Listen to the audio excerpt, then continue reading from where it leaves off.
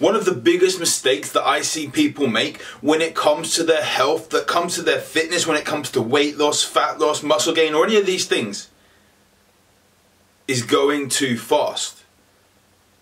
And I suppose it will be the same with business. If you're trying to sprint, you're going to miss the basics out. And those basic things, the foundations, set you up for solidarity. They set you up for success in the long run. I see people going on these New Year diets, which is cool. Props to you. I really do hope you succeed. But trying to sprint, unless you're doing intervals, is not going to get you very far.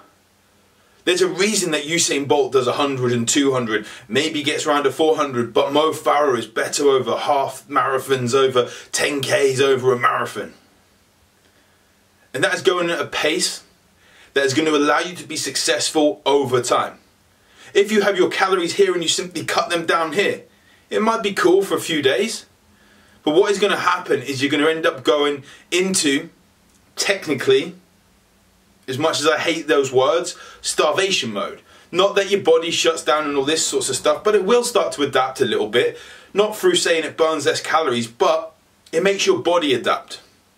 It stops fidgeting a little bit. It stops allowing you to have the energy to move a little bit more. Before you know it, your non-exercise activity thermogenesis, basically the calories you burn when you're not necessarily exercising, go down without you realizing it.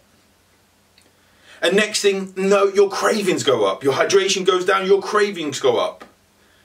So you go for four or five days and you think, great, I've been in a thousand calorie, 1500, 2000 calorie deficit at extremes. I've dropped all this weight. And then, then suddenly you get to that cliff edge and you actually jump. You go flying over the edge, you go for the junk cupboard, you get loads of sweet stuff out, loads of junk, you get takeaways, you get loads of food that you have just been craving because you've gone such a low uh, calorie in input such a large deficit.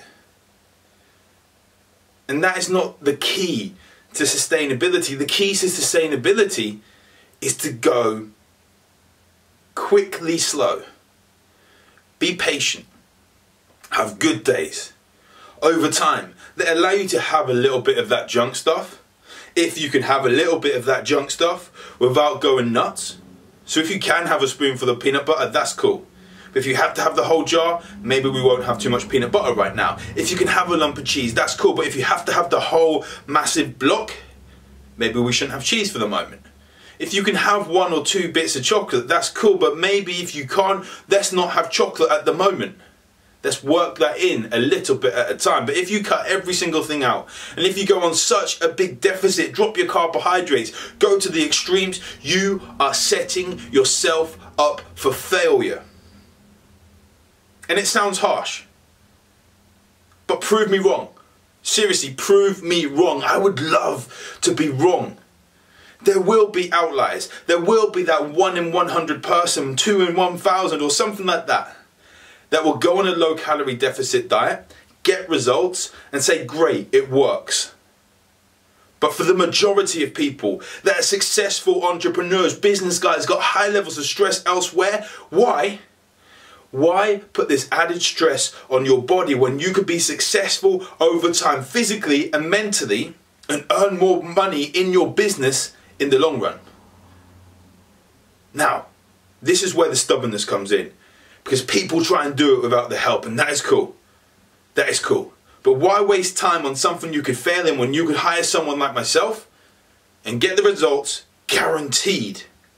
From someone who has actually made the mistakes quite a lot of times themselves and learned the ways that work.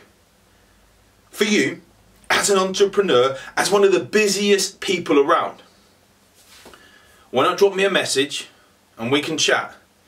Make sure you're not starving yourself. Make sure the only extremes you're getting are extremely amazing results. More energy, more focus, more money, more confidence, and feeling amazing. I look forward to speaking to you.